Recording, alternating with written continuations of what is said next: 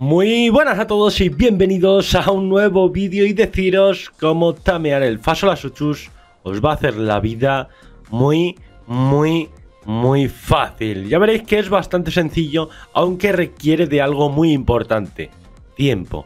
Vas a necesitar muchísimo tiempo para tamear a este bicho y lo único que te recomendaría es que llevaras fuera era un Pteranodon o un Argentavis. Por lo demás, únicamente te hace falta llevar granadas. No te hace falta llevar, como he visto en otros vídeos, no te hace falta llevar ni traje de camuflaje, ni savia de cactus, ni nada por el estilo. Únicamente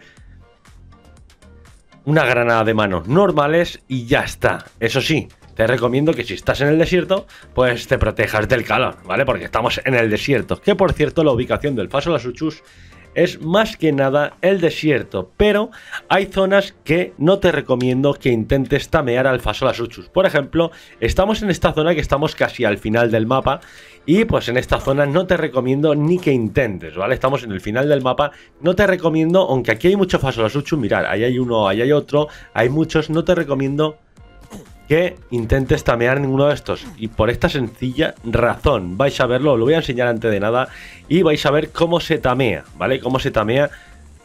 Es muy fácil, la verdad, lo único que necesitas bastante tiempo. He visto varios contenido en YouTube que por eh, ganar unas visitas de más, pues dicen que hay que llevar traje de camuflaje, sabía de cactus, y en, ese, en este vídeo de hoy voy a desmentir todo eso, ¿vale? Estamos en administración porque todavía no he hecho los 100 días en NAR Scorcher pero que en un futuro quiero hacerlo. Déjamelo en los comentarios y lo empezaremos porque la verdad que es un mapa donde la supervivencia está al límite. Todos los días, si no es una tormenta de arena, es una, es una tormenta eléctrica, si no, pues es una ola de calor. O sea que la verdad me interesaría intentar este reto. No, una vez avistado el paso las Uchus, vamos a mirar primero el nivel. Tienes que saber que cuanto más nivel sea, más difícil te va a ser, obviamente, ¿vale? Vamos a tener que esperar que se entierre completamente, que, como veis, ataca todo lo que se mueve. Es una auténtica locura este bicho. Así que, por eso es lo que te digo que vas a necesitar bastante tiempo para tamear este bicho. ¿Vale? Lo que vamos a hacer, como veis, es muy... Eh, ¿Cómo te diría yo? Es muy torpe. Andando así es muy torpe. Pero si se entierra y va por por la arena surfeando es bastante rápido. Así que vais a ver todas las habilidades, vamos a ver todo cómo se tamea. Como veis, aunque esté con un comando de administración, vais a ver que solo llevo granada y no llevo nada encima, ¿vale? Pero nada encima. Lo único que tienes que hacer es esperar a que pues se entierre, ¿vale? Tener bastante cuidado. Te recomiendo Pteranodon o Argentavis, ¿vale? Eso sí, ¿por qué no vamos a tamear este bicho, ¿vale? Que lo tenemos aquí. Como veis, estamos muy lejos de la costa y vamos a necesitar algo muy importante. Mirad, nos hemos acercado bastante, suficiente para tirarle una granada, ¿vale? Una vez le tiramos una granada, vamos a esperar un poquito y vamos a ir corriendo hacia él. Error, no le da la granada. Pero bueno, aún así nos hemos acercado un montón y ni se ha desenterrado. O sea, traje de camuflaje definitivamente no necesitamos. Vamos a tirarle la granada. Ahora sí, ahora sí. ¿Vale? ¡Pum! Le damos. Y nos vamos a montar. Veis que tenemos dos barras que ponen control inconsciencia. Pues tenemos que golpearnos contra las rocas. ¿Qué pasa? Que si estamos tan lejos de las rocas, bueno, aquí tenemos una pequeña esto de rocas, el control nos va a tirar de la montura. Mira, aquí tenemos esto y vamos a aprovechar. Bueno, esto es sal, pero bueno, aún así te vale.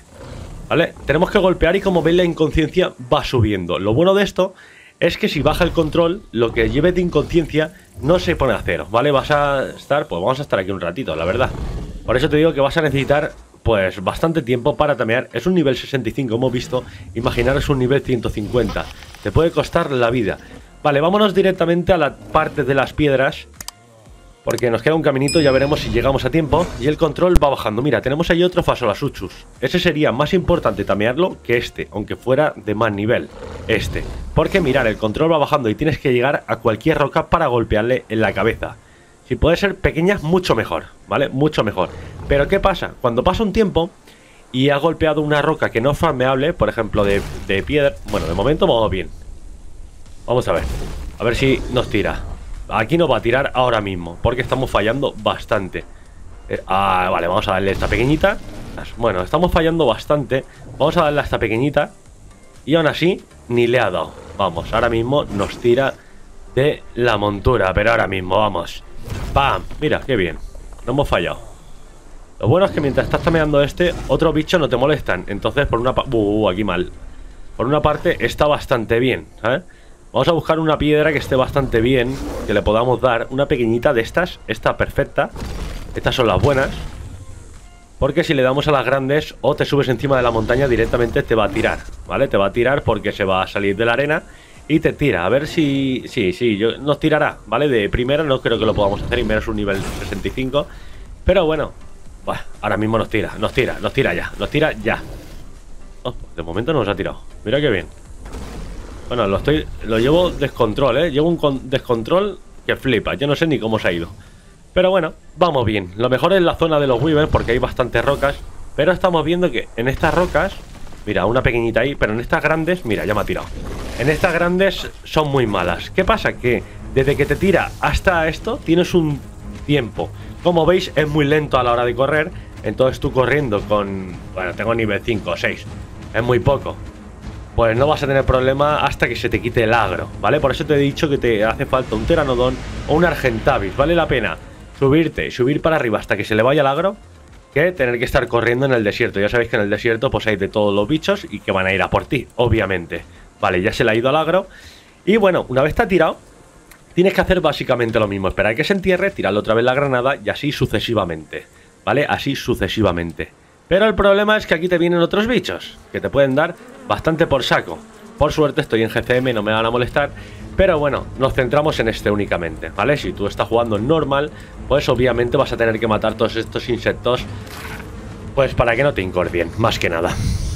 Vamos a esperar un poquito, hemos, lo hemos hecho con un nivel 65, lo podríamos haber hecho con un nivel 5, para que lo vierais más rápido.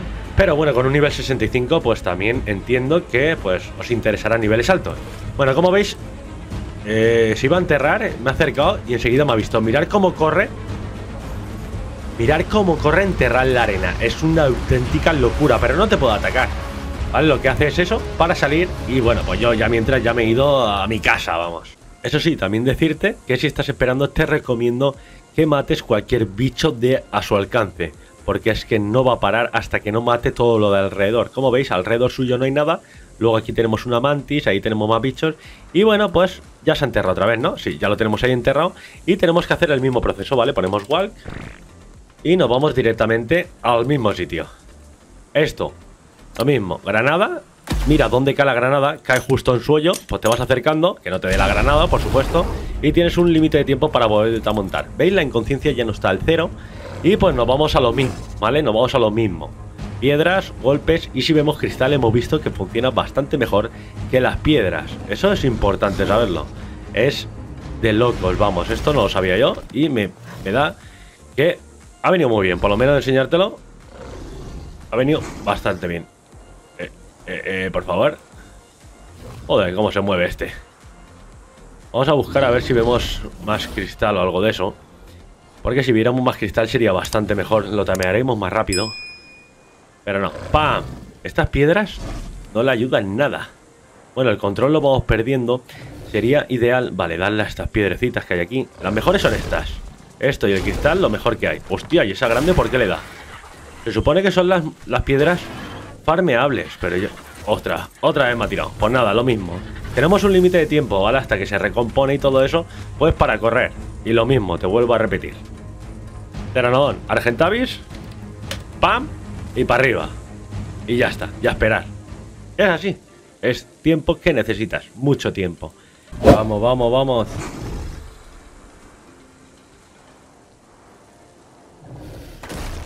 Vamos, que no queda nada. Un golpecito más. Un golpecito más.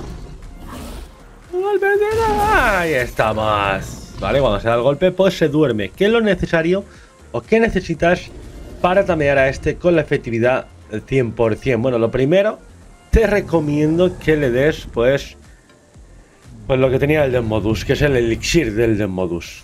¿Vale? Si no lo tienes, obviamente, si estás jugando solo aquí, pues no lo vas a tener. ¿Qué es lo recomendable? Que si vas a tamear un bicho de estos, que le des para tamearlo al 100% o la mejor forma de tamear. ¿Cuál es? Pues obviamente, tratándose de un carnívoro, pues te diría, le tienes que dar o kibel extraordinario o carne de cordero crudo, o sea, que es lo seguido al kibel si no tienes, o carne de primera cruda. En todo caso, si no tuviera nada de eso, pues le podría dar carne cruda normal. No te lo recomiendo ya que es un bicho que si te cuesta mucho, pues le tuvieras que dar kibble o carne de cordero o de primera, unas cosas de estas, ¿vale? Para que la efectividad suba al 100%. Como veis, estamos en un nivel 10. No sé si esto lo tengo aumentado o no, pero bueno, vamos a ver cuánto tarda en tamearse, pues con estas, con lo que se coma, vamos. Vamos a ver cuánto tarda un nivel 10 cuántos kibble se puede comer o cuántas carne de cordero cruda o cuánto pues carne de primera. Obviamente se va a comer primero el kibble porque es lo que más le gusta. Pero bueno, vamos a verlo. Lo quieras, ¿eh? Tú tranquilo, tú a tu marcha. Y por supuesto, deciros tener bastante cuidado con los bichos de alrededor. Yo obviamente estoy con la escopeta de GCM preparada porque lo que me ha costado no es ni normal. Obviamente un nivel 10 me ha costado alrededor de unos 15-20 minutos 25 te podría decir, pero un nivel 60, un nivel 100 te puede costar una hora perfectamente. Es una auténtica locura. ¿Y por qué hemos tameado esto? Pues ya veréis por qué. Tiene una habilidad que la verdad yo creo que es la mejor de todas. Pero sin duda, que por cierto también lo que es la montura vas a necesitar hacerla pues fácilmente. Faso las 8 lo vas a tener en la herrería y te pide fibra 200, madera 100, lingote de metal 30 y piel 150. La verdad que pues no es algo que te pida mucho, pero bueno, te hará falta si lo que quieres es manejar a este bicharraco. Vale, vamos a ver, pues obviamente lo que decíamos, se ha comido un kibble y ya está. Y aquí lo tenemos. Pues nada, le vamos a poner la montura y vais a ver la habilidad que tiene.